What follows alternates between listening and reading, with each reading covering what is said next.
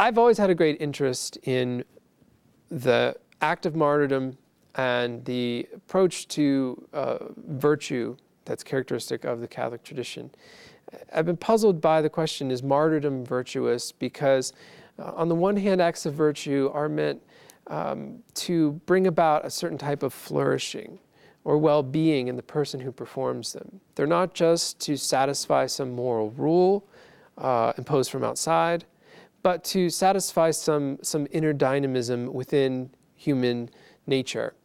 Uh, martyrdom in the Christian tradition has always been considered to be a good act, and indeed, St. Thomas Aquinas regards martyrdom as the sign of the perfection of charity or the love of God.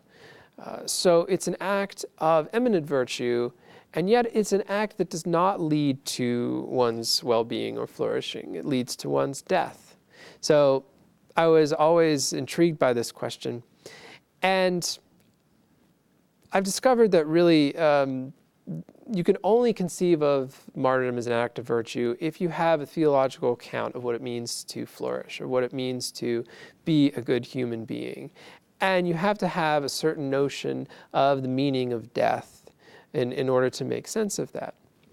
Uh, we see uh, martyrdom uh, in our own present day circumstances.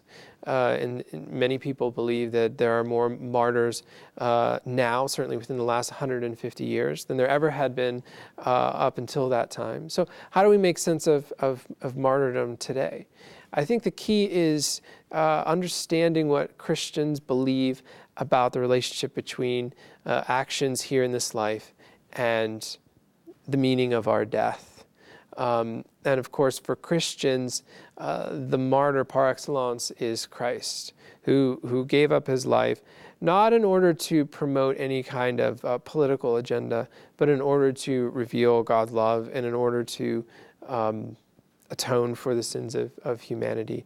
Now, martyrs don't necessarily atone for sins, but Christians have always seen martyrs as participating in the death of Christ a death that was nonviolent, that was accepted rather than brought about on one's own, um, and one that sort of is the fruit of love rather than uh, anger or spite. Um, and so this category of martyrdom is um, very much alive in the world today. Uh, very recently, Archbishop Oscar Romero was declared a martyr uh, by Pope Francis uh, although it was disputed for years because he died not as the result of a religious persecution, but as the result of political violence. And yet, uh, his advocacy for the poor, uh, his resistance against the violence that was going on in El Salvador at the time, uh, led him to, to being assassinated while he was celebrating the Eucharist at the altar. Uh, and so the church, after some time of discernment, has declared him to be a martyr, even though his death did not come about directly as a result of religious persecution.